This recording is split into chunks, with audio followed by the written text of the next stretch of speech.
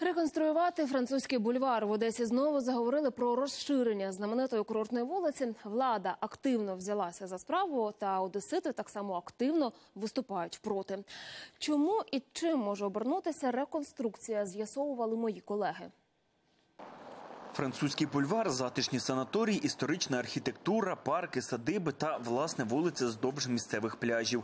Останніми роками вона забудовується висотками. Звісно, інфраструктури не вистачає. І от Одеська мерія знову хоче реконструювати бульвар. А для цього припускають, доведеться вирубати дерева. А как быть? Это будет поднято французский бульвар, либо трамвайное полотно опущено в один уровень. Это будет выделенная полоса. Пускай это скажут специалисты, которые проведут мониторинг движения, транспортного потока. Реакція громадськості миттєва у соцмережах суцільне обурення, адже так звана реконструкція бульвару може призвести до ще більш агресивної забудови району. Мотивація чиновників зрозуміла. Вони особисто зможуть заробити гроші, видаючи дозволи на будівництво. А от родзинку Одеси буде знищено. Если мы сейчас сделаем э, функционально из э, французского бульвара э, про- проезжую просто такую магистраль огромную, это будет просто коллапс транспортный здесь. И уже ни о каком отдыхе, э, сана- санаторном назначении, рекреационном, там, туристическом тем более, не будет вообще идти речь. Бульвар французский весь цвету, в конце концов.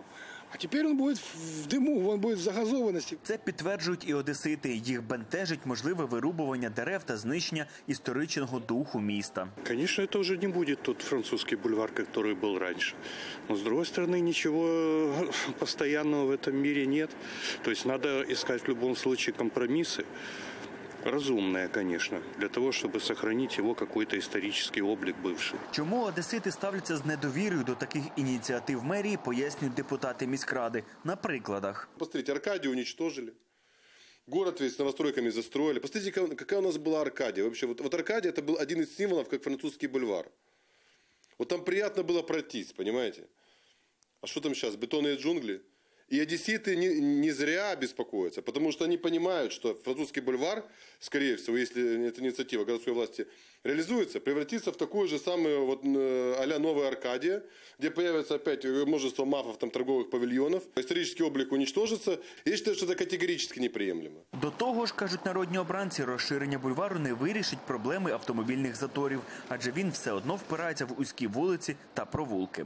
Костянтин Рєдін, Вячеслав Никифоров, подробиці телеканал Інтер, Одеса.